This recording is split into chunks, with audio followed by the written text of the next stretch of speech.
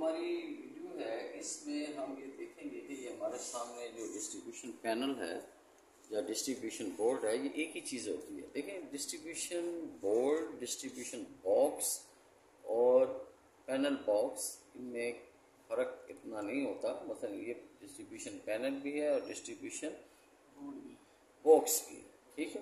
اچھا۔ اب دیکھیں، اس میں آپ یہ دیکھیں، یہاں پر یہ بریکر لگے ہوئے ہیں۔ ٹھیک ہے؟ کوئی بیس امپیئر کا کوئی تیس کا کوئی ایک آدھا پچاس امپیئر کا یہ لگائے گئے ہیں، لیکن کسی میں بھی کوئی سپلائی نہیں دی ہے، ٹھیک ہے؟ کسی میں کوئی سپلائی نہیں دی گئی ابھی یہ سپلائی دینی ہے۔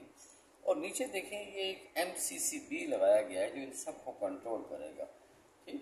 یہ ایک اس قسم کا پورے کا پورا یعنی کہ main switch type M C C B لگایا ہے، جو آپ کا اس کو کنٹرول کرے گا اور اس کے اندر وہ فیس کی تین کی تین تاریں لگائیں گے جو اس ڈکٹ پٹی کے ذریعے، یہ ڈکٹ پٹی کے ذریعے یہ یہاں آیا ہے، یہ فیس آ کے یہ تینوں یہاں چلا گیا۔ ایک یہ ہے تار، ایک یہ ہے اور ایک یہ فیس کی تار، ٹھیک؟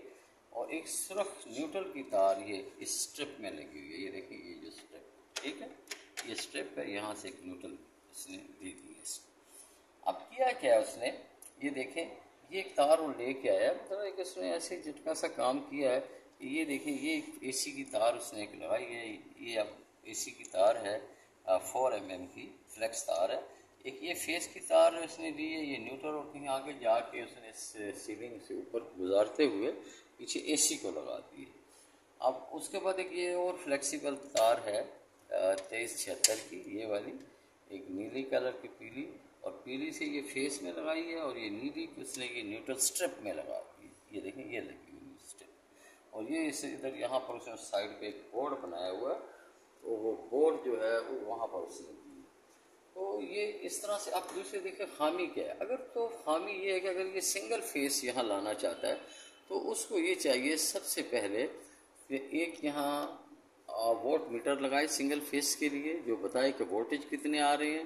ایک یہاں پر لگائے، وہ کیا کہتے ہیں انڈیکیشن ایک انڈیکیٹر لگائے سنگل فیس کے۔ اور یہاں تھری فیس کیونکہ آ رہے ہیں، تو اس کو تین انڈیکیٹر لگانے چاہیے اور تین ہی وولٹ میٹر لگانے چاہیے۔